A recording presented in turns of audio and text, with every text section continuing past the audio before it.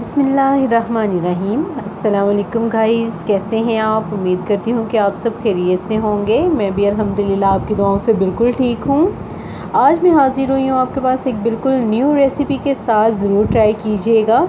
जैसे मैंने ट्राई की, बहुत टेस्टी बनी तो मैंने सोचा क्यों ना आपके साथ भी शेयर कर दूँ।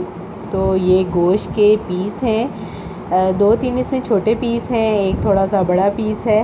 तो इसमें मैंने दही लिया था तकरीबन एक कप दही है इसमें और दो टेबल स्पून इसमें मैंने पिसी मिर्च ऐड की है और हाफ़ टी स्पून नमक ऐड किया है फ़ोर टेबल स्पून मैंने इसमें तिक्का मसाला ऐड किया है और पिसा हुआ ज़ीरा इसमें ऐड किया है और पिसा हुआ धनिया, भुना हुआ जो मैंने पहले भी वीडियो में आपके साथ शेयर किया था।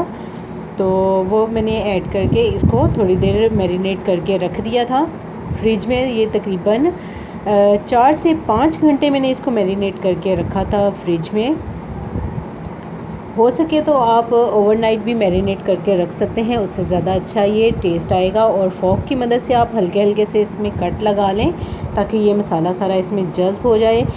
तो चलें अब इसको फ्राई करते हैं। दूसरी साइड पे हमने कढ़ाई ली, उसमें ऑयल लिया और जिसमें अब इसको गर्म होने का इंतज़ार हमने किया और जैसे ही ये गर्म हो जाए इसको हम फ्राई करेंगे। और जब ये एक साइड से पक जाए अच्छा सा गोल्डन कलर आ जाए इस पर तो फिर हम इसकी साइड चेंज कर देंगे।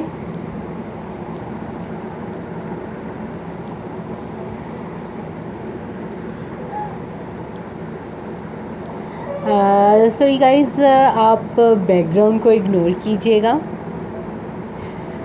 ट्राई ज़रूर कीजिएगा और कमेंट करके मुझे ज़रूर बताइएगा कि, कि आपको कैसी लगी मेरी ये रेसिपी और अपने फ्रेंड्स के साथ भी शेयर कीजिएगा।